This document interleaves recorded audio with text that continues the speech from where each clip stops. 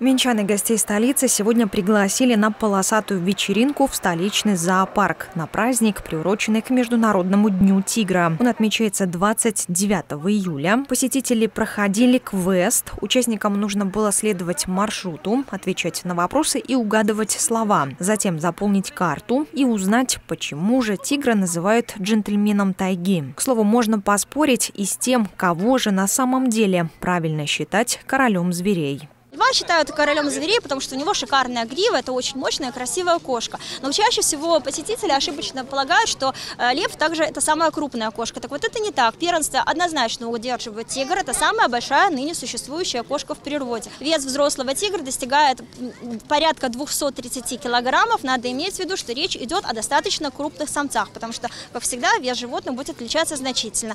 Считается, что раньше вес тигров достигал 320 килограммов, то есть они были еще на сотню килограмм тяжелее.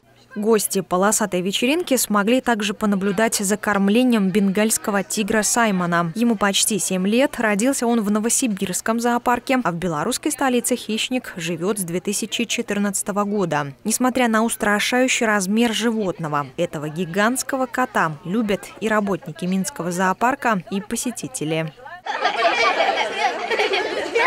Смотри, как